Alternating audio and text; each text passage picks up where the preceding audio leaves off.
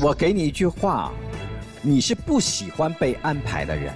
有些人一辈子都喜愿意被别人安排，他生活的也很好，对吧？父母都安排好，整整就恨不得一辈子都把他安排好，他也过得很舒服。你不是，你其实，在父母的安排下，你是有自己的那点冲动想去做事情的。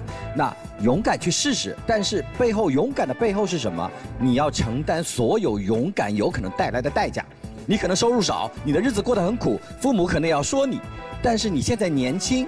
你只要觉得你能承担代价，你就勇敢去做。说实话，我不觉得今天有任何人应该马上给你个岗，又变成安排给你了，你不会干下去的。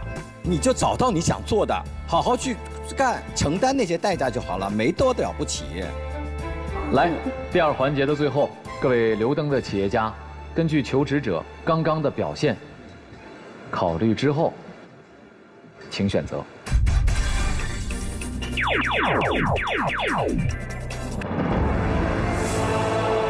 很遗憾，星承志，第二环节你止步于此，仅存的六盏灯全都灭掉了。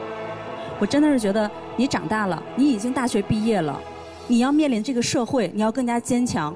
你还是说哪个城市都可以？真的，你到了北上广跟我一样做二二十年北漂的时候，你就会知道你会面对什么。所有的问题是你自己要去面对和解决的。如果有一天你想让你的自己的人生过得更好，你一定要拿出你的勇气去面对，不要博取别人的同情。你的人生是你自己的了，然后把你自己的人生的每一步走好，不要拿拿拿眼泪让大家来同情你。这个是我想给你的一个鼓励，可能很残酷，但是我觉得当你走到这个社会上的时候，这些东西是你必须要具备的一些基本能力。不管怎么说，还是特别感谢你来到非你莫属。再见，承志。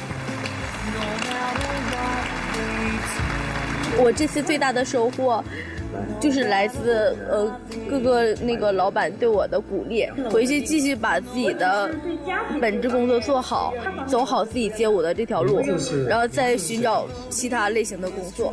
欢迎大家关注“非你莫属”抖音官方账号，登录抖音搜索“非你莫属”，每天中午十二点，我们将在直播间与您连麦，提升您的职场沟通技能，解答您的职场困惑。